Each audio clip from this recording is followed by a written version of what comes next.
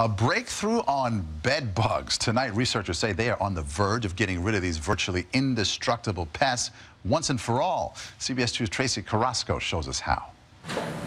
When we started going to movies, we brought big plastic bags to sit on them. I take a bus from Port Authority, and I'm worried, like, what, are they here? Bed bugs, they're ever present. If they're not actually in homes, then they're probably on mines. Always hell I'm worried about it. It's a nightmare. Isn't that amazing how this one insect causes this internal panic? But now it's the bed bugs' turn to worry, says entomologist Ralph Maestre, thanks to a major scientific breakthrough that could lead to the first ever bed bug trap it's going to be a tremendous tool. A tremendous tool, say experts, because bed bugs are very difficult to detect and even more difficult to get rid of.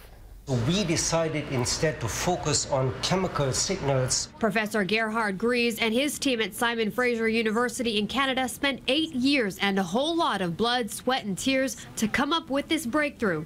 His own wife, Regine, a fellow biologist, acted as a guinea pig. At the peak of the research, like feeding like at least a thousand on this arm and a thousand on the other arm every week or sometimes even more. She endured as many as 180,000 bed bug bites so the team could pinpoint the exact set of chemicals or pheromones that attract bed bugs and lead them to take shelter in one spot.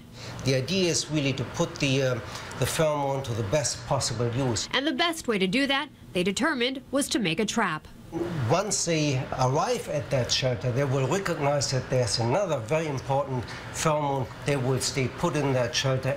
The researchers are currently working with a commercial environmental company in developing a trap, but for now it's meant only as a detection device. Tracee Carrasco, CBS 2 News.